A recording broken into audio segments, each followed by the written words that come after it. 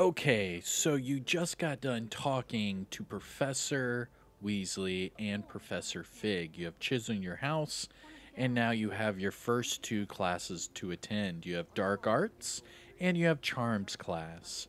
But before that, I want to show you how to open up the puzzle rooms that will give you loot. These are math puzzles you have to solve and then once you open up the door, you will get loot. You will get a collectible and also a gear item. So I just got done talking to Professor Weasley and Professor Fig. We are at the beginning of the game, and the very first puzzle room I want to show you do, do, do, is down these stairs on the other side of the fountain. So you can see right here in the bottom right corner, there is this room. Now you can see icons above the door. Now there are 10 different icons. You will use these icons to open up the door. Now you can see there's one die right here with one question mark. And you have to find the other die.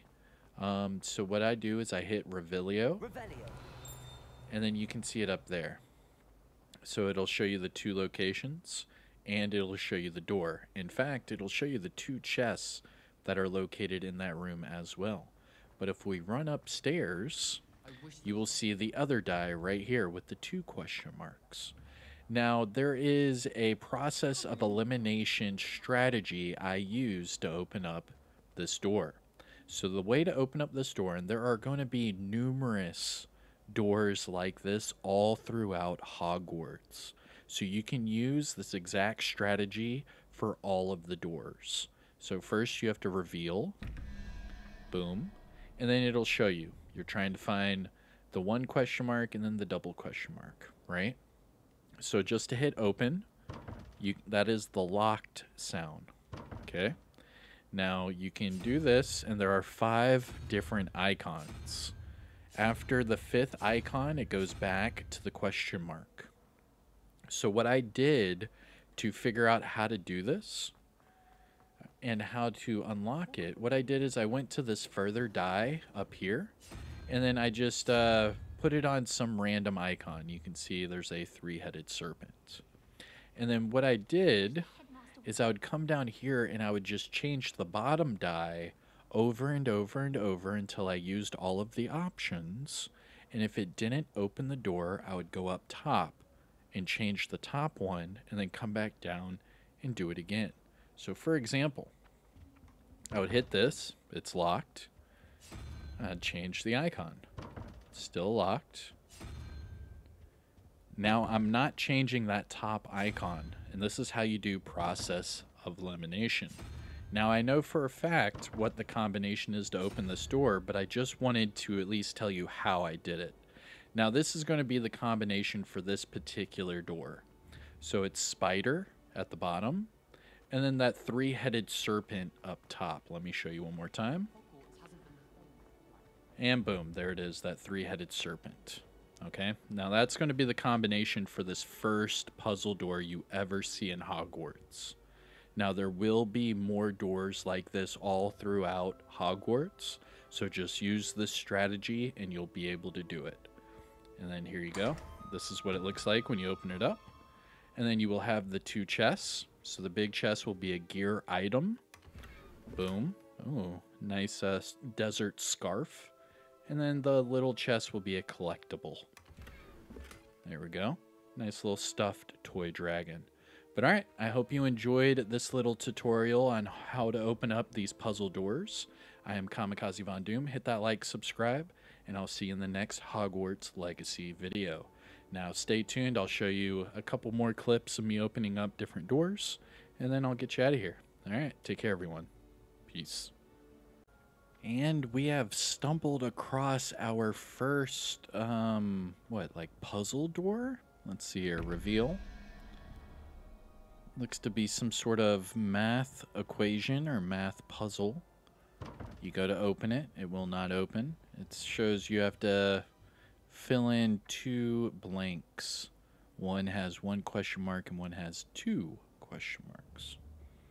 Now here's your first question mark right here. Now it says roll. So you're treating this like a die.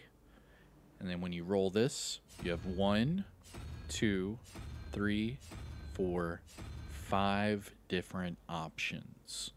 And then it resets again to the question mark. Now, if you do Revelio, Revelio. you can see the door and then the two, you know, the, the two locks on that door. Now, you have to get both of these locks right. So, Revelio, and you can see the next one is right there above us. So I'm going to come over here. Now this one's further away. So what I'm going to do is I'm just going to change the die to the very first option. And then I'm going to do process by elimination. So then do the first option and then try to open it. No. Next option. Now there's only five options. And then you can go to the next one. And then you're going to be able to do this for all of the doors. Now it just reset, okay? So when it resets, you go to the other die, and then you roll it to the next icon, okay? And then you come back down, and then you test out each five of the options. There we go. One.